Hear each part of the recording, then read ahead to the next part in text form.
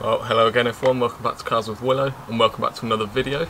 Today is a video that I wasn't planning on making but um, I was driving home from work the other day and all of a sudden I couldn't select any gears at all.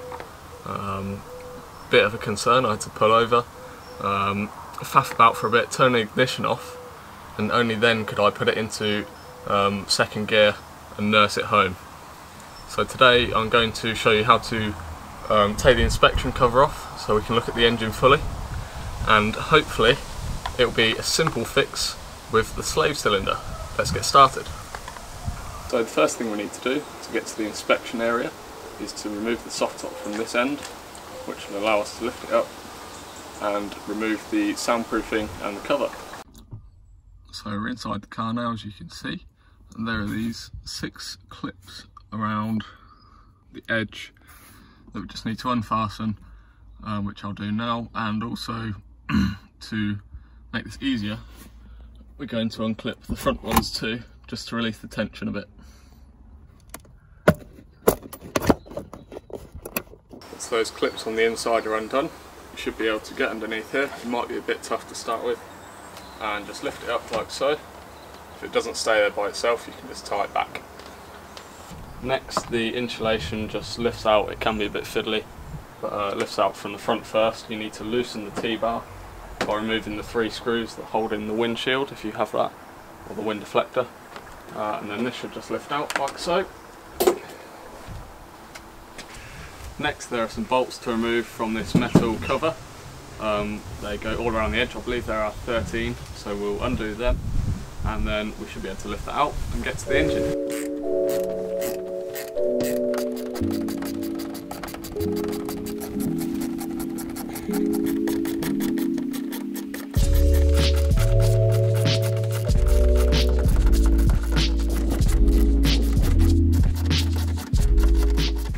that all the bolts are undone, we should be able to carefully lift this out. Now that the engine's fully uncovered and we can get inside, I'm actually going to be replacing uh, this seal which is from the slave cylinder. Hopefully that will allow me to start changing gears again which would be very nice. Um, it's amazing that something as small as this could just make your car completely undrivable. It's a little rubber seal. Um, unfortunately it's pretty difficult to film but I can tell you that there are some great tutorials on the MG forums if you are looking to do this um, this repair. So we're now in the engine bay. The area that we're going to be working on is actually down here. They're beneath these coolant pipes. I'll see if we can get in.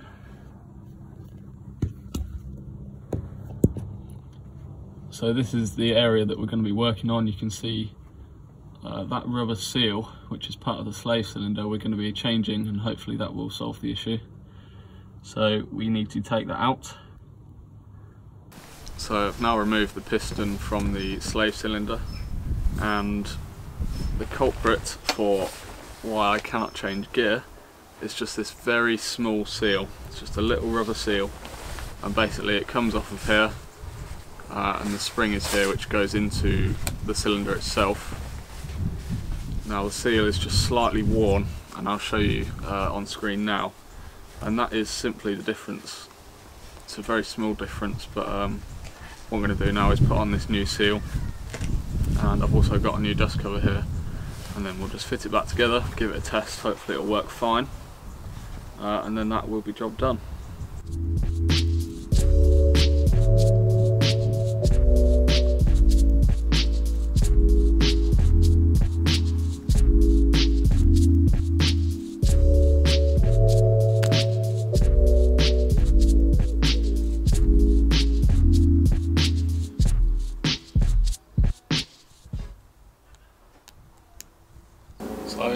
Done in the engine, we can start to put the cover back on, starting with the metal shield.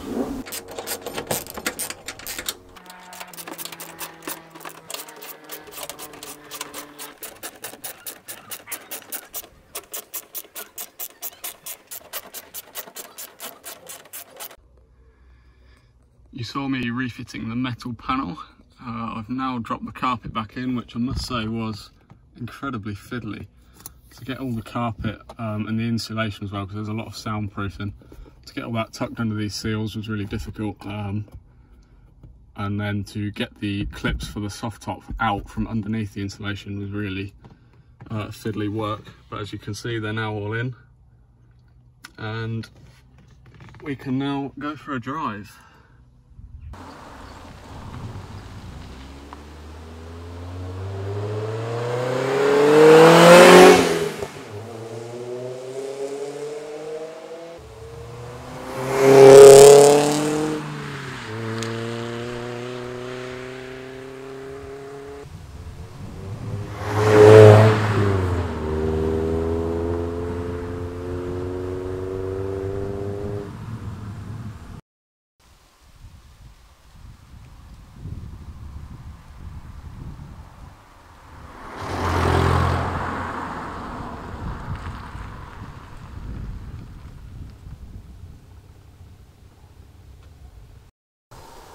And there we have it, it's all working perfectly again. The clutch feels better than it ever has done.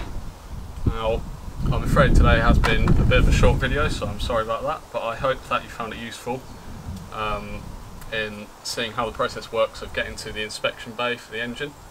Uh, it's something I've never done before and it's something I don't want to do again anytime soon because it's quite a fiddly job. But in terms of replacing this seal on the slave cylinder, it was a very uh, straightforward job, again quite fiddly. Um, but just to replace this seal and the dust cover was a really straightforward job and it's made a huge difference to the clutch. So if you have any issues with the slave cylinder, I know you won't have learned much from this video, but I've left a link in the description below which will take you to the forum tutorial that I used um, to learn all about it. So do check that out if you are hoping to learn more about that from this video. But if you have found it useful at all, please leave a like and subscribe down below so you don't miss any future videos like this and I'll see you in the next one.